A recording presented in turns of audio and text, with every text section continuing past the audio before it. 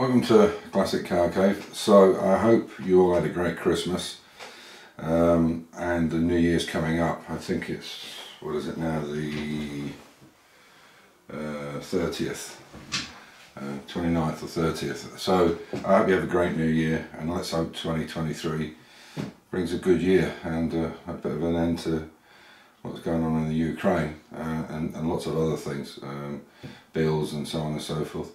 I'm very, very lucky man, and uh, the only issue I've got is my gas people, who I've got the wrong gas from, which I explained before. I've got the TIG gas instead of the MIG.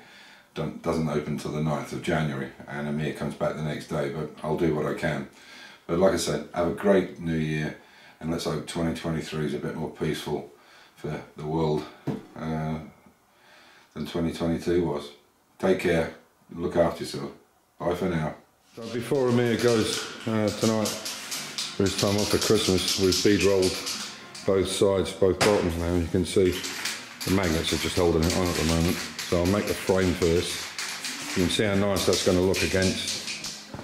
Let me go past the post. See how nice that's going to look. And once the wheel arch is in, uh, I made a new piece for the back here, and the, the smaller one, the, the one that's not got the length, the width on it, we're going to use underneath here.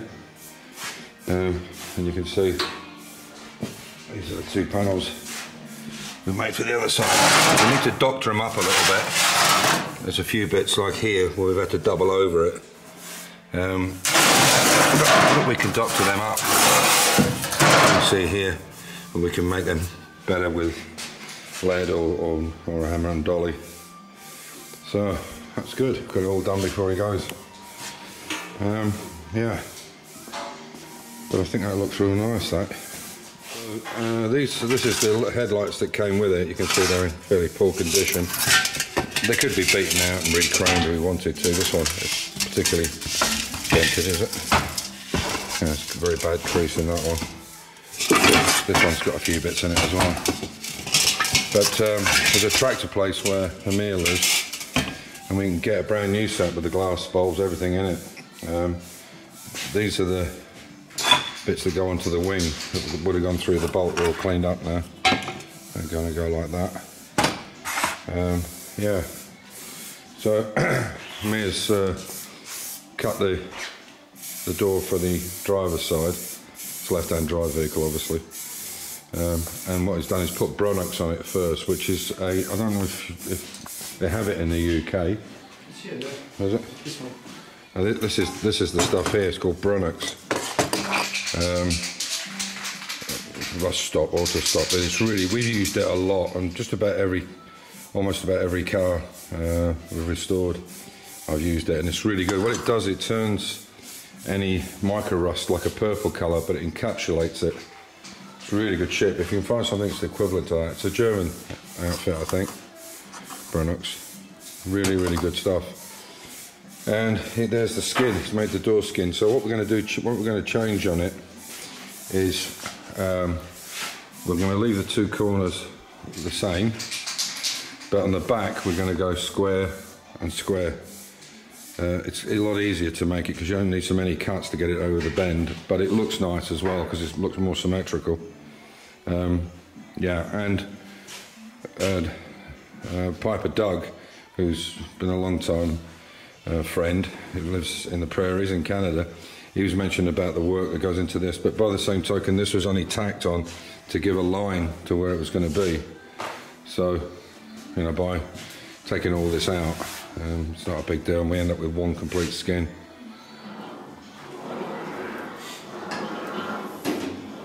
This is the roof that uh, Mia's making, and Revka, she's the other machinist, the metal worker.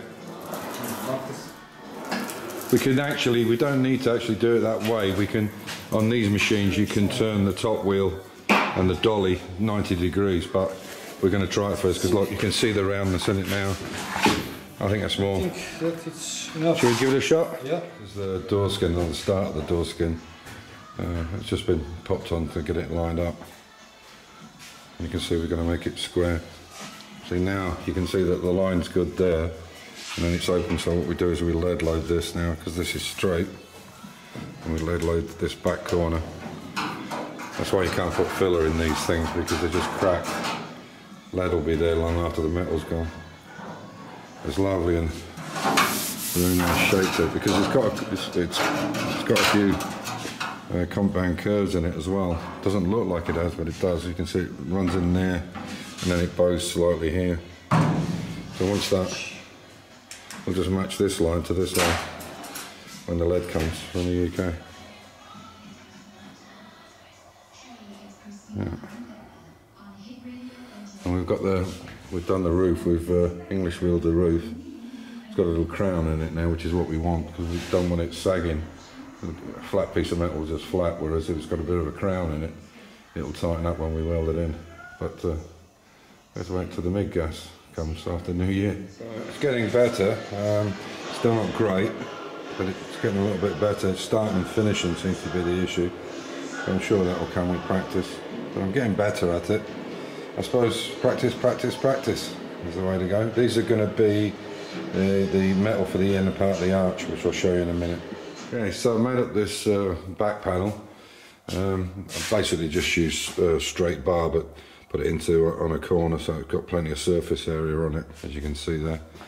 So I've uh, primed it all on the edges. What I'll do now uh, is I'll make some uh, uprights away from these bolts um, so they don't clash with them and it will stop this from moving.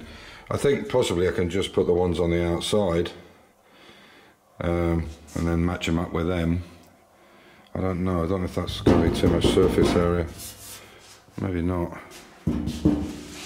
Problem is, if I if I tack weld this on just now, um, I won't be able to get to the back of them and weld them. So maybe I should just put them in as a matter of a matter of course. You know, uh, I put an upright through the centre there, and possibly one. How would it be? And one there, and then come down, do a rolled edge, and come along here. Um, what I'll do is I'll I'll, uh, I'll have a look at it now and see what I come up with. So that's the frame made. Uh, I haven't welded it in here yet, but I've welded, made that corner for it, and it still fits. That's the main thing. Um, now I've got to weld it to the piece in the centre of the arch. I've had to come down here because there's a bolt right underneath here, uh, and I had to get it right up against the side here.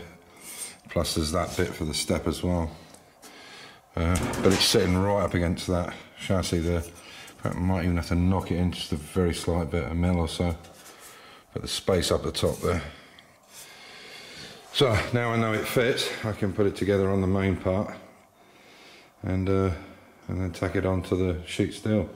It's quite late, so I'm going to call it a night. So I've primed the back of it. This is not the way it's going to sit. It's going to sit completely flipped over the other way, but I wanted to paint the, the back side of it before I weld it on. Uh, but before I do that tomorrow, I've got to weld in this corner piece and on the side. Um, and then when it's flipped over, this piece will go into that slot there. And these pieces go into that slot and onto that slot there. If you can see it. So I'll butt weld them all up. So that frame plus this arch bit outside will be one piece. Um, so theoretically you could take the arch on and off, which is what I want to be able to do um, because I have to cut it down a little bit. It's too long here and certainly too long here. So I'll have to work out where it's level to the um, um, to the to the running board, get it level to the running board, then chop it, then try and work this uh, piece into it uh, to make it look uh, as though it was made for the car. But that's where we're at at the moment. But I'm going to call it a night because it's quite late.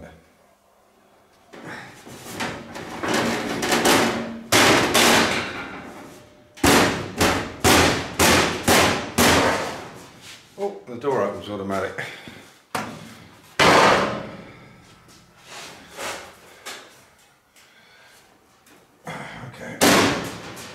Good. So yeah, so that's how it looks along along the bottom. And that arch now is in line with that one. It's enough flare on it, but we could put the other one on. But uh, yeah, so pretty pleased with that. We could come up about another centimetre up on that arch, uh, and we've elongated, I've elongated the hole, so we should be able to move it up a little bit if we need to. But uh, and I just use self tappers at the moment to put that on. What I'm thinking is is I might do that. I'll put another two in here, two self tappers in here, because then when I want to take the side off, uh, when we want to bolt it on, we could actually bolt it on first and then put the the side pieces on. You can just see that bolt is catching on the end there. Uh, so and I've got to weld this piece up, this round piece.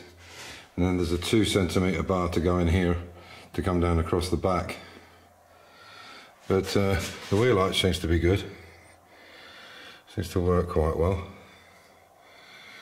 So I think we're I think we're in there pretty nice. Let me just turn this off. So yeah. So that's what it looks like.